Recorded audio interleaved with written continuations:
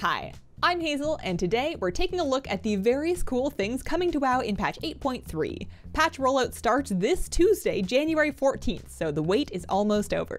First up, and top of my list, 8.3 is adding a new Island Expedition doubloon vendor. They hang out right by the original ones, and they'll sell you essentially island loot boxes in exchange for doubloons. Each box is tied to specific mob families of loot, and they contain the transmog, toys, pets, and mounts associated with those families. For example, if you want the Squawks parrot mount, you'll want to put your doubloons into the Rotting Mire salvage due to its connection with pirates. What exactly you find in your box is of course random, but the reported mount drop rates so far have been pretty good. If there's one island expedition mount that's just been taunting you all expansion, things are about to look up for you. Next up, 8.3 is adding heritage armor for goblins and worgens. To unlock it, you'll need a level 120 of that race that is exalted with that faction. For example, a 120 worgen exalted with Gilneas. At that point, you can do the new heritage armor questline and unlock the set. If you don't have the rep yet, pick up your Gilneas or Bilgewater Tabard and burn through some old dungeon runs to catch up. I hear the Mechanar is highly recommended. A new patch means better gear, and that's also going to be true for catch-up gear. Doing the new assaults will get you Black Empire pieces, which are bind on account and item level 415. Send them to your alts and watch their item level soar. Maybe it'll make you feel better when you're grinding out Azerite essences on them from scratch. If you've jumped on the hype train and pre-ordered Shadowlands, 8.3 is going to have an early gift for you, Allied Race Death Knights. Bolvar got lonely, so he's making friends. Vulpera Death Knights, Void Elf Death Knights, Zandalari Troll Death Knights, the world is your oyster. Of course, every good patch has a raid, and this one's a doozy. Ny'alotha has 12 bosses, spectacular views, and eyeballs for days, presumably for taking in those views. Normal and Heroic will open a week after patch launch on the 21st, with Mythic and LFR rolling out the week after that. I am doing raid guides again, so stay tuned. Of course, there'll be a fresh season of Mythic Plus as well with the brand new Awakened affix. No more emissaries. Instead, alternate reality mini bosses that let you skip trash. There's a bit more to it than that, but they should shake up the preferred routes and keep Mythic Plus fresh for another season. Note that when the patch drops, your Titan Residuum is being reset with the new season you will log in to zero residuum in your currency tab and then some consolation gold in the mail. If there's anything at all that you want to buy before the patch, do it before the patch. Also, there will be a PvP season with fresh vicious mounts, glad titles, all that good stuff. Next, one of the major features of 8.3 is zone assaults. N'Zoth's mad, and he's mad at Uldum and the Vale of Eternal Blossoms in particular. You see an assault up on your map, head out there and do any number of defendy things to fill a progress bar. You'll get a cache with a piece of 445 gear and a healthy dose of currencies. You'll need those. Arguably, the central feature of the patch and the reason that you'll want all that currency is for horrific visions. You will need coalesced visions to get tickets to do them, you'll get corrupted mementos from doing them, and then use the mementos to train research and be better at horrific visions. You'll get new essences from these as well as upgrading your legendary cloak, so it's not a system to skip. They'll scale between 1 and 5 players, so you can do them alone or with your friends. Those entry tickets are limited and you will be really working for them though, so choose your company wisely. Also, don't start one right before an electrical storm or you go into labor or something.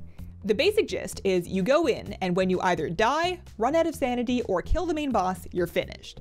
Sanity will drain over time, and getting hit by mechanics will also chunk it. Depending on what you accomplished while inside and whether you activated any hard modes, you'll get more corrupted mementos as well as cosmetics, achievements, that sort of thing. You spend those mementos on Titan research, which makes you better inside of horrific visions. To make things more complicated, there's also mini versions of horrific visions that you'll find in open world assault zones. Those don't use your research, they don't cost anything to do, but they are once per day and they do include the sanity mechanic. You don't have to remember any of that, so don't stress too much. The intro quest chain of the patch will walk you step by step through assaults, horrific visions, and the rest of it as you unlock your cloak and get your feet under you. Next cool thing, no more Titan forging. New sources of gear will not Titan forge. They will be an item level and that's the item level that they'll be. Instead, new gear can be corrupted. Corrupted pieces have an extra beneficial effect, but also increase your character's corruption total. At corruption breakpoints, new negative effects will happen such as random slows, void pools, that sort of thing. Your legendary cloak that you've been working on with horrific visions will give you some corruption resist, allowing you to get more upsides with less downsides. Do more visions, upgrade your cloak, and you'll be able to resist more and wear more corrupted gear safely. The whole corruption system is only here for as long as BFA is, so if you're not feeling it, you can just grab a pint somewhere and wait for Shadowlands. Something cool that you can always count on from a new patch are the mounts. 8.3's got plenty of them, but most importantly, we're getting alpaca mounts. It's happening. There's three colors, including Molly here, who's being added to the drop table of the Vol'dun World Boss. There's also a host of new battle pets for the pet collectors among you. You'll notice a running theme this time is Void Scarred Everything. The Void got to the beetles, it got to the toads, it got to the cats. I also have to show you Cuddly because you've had a long year and you deserve it. On the topic of pets, 8.3 has a new pet dungeon with Blackrock Depths. Word on the street is that it's a tough one, but if you make it through, you'll see the finale of the Shadowy Figure mystery. You'll also earn the Shadowy Disguise toy to turn you into one of them. WoW Pet Guides already has strategies listed along with rematch strings, so that's my plan. One of the biggest lasting changes coming in 8.3 is the auction house revamp. They finally did it. I have a full video on this that I will link, but the gist is that basic buying and selling are much, much cleaner. You can buy partial stacks or multiple stacks in one transaction, so no more pages of single stacks ruining your day. Just type in how many you want, and if you like the price, go for it. There's also a handy little uncollected filter that you can use to search for only pets, mounts, and appearances that you do not have learned yet. That could get expensive. A small but welcome thing coming in 8.3 is more difficulties for Operation Mechagon. The 8 boss mega dungeon is being split into two halves for the sake of Heroic as well as Mythic Plus. If you've never done the dungeon and want to unlock Mechagnomes, this means that you'll be able to queue for Heroic and do it that way. Next, 8.3 is not bringing account-wide essences, but what it is bringing is new essences. You'll get some from Horrific Visions, some from Magni's new questline, and at least one from the Ny'alotha raid. They all grant corruption resist on top of their effects, so they should be pretty competitive. If you're coming back to the game and you're overwhelmed by farming all of the essences, you might be able to get away with mostly new ones. We're also getting new Azerite levels to earn along with a third minor slot that you will unlock at level 75. Last, 8.3 is bringing two new playable races to the game with Mechagnomes for Alliance and Vulpera for the Horde. To get Mechagnomes, you'll need to be exalted with the Rustbolt Resistance and complete the Mechagonian Threat quest achievement. Then you'll need a level 120 Alliance character to do the unlock questline.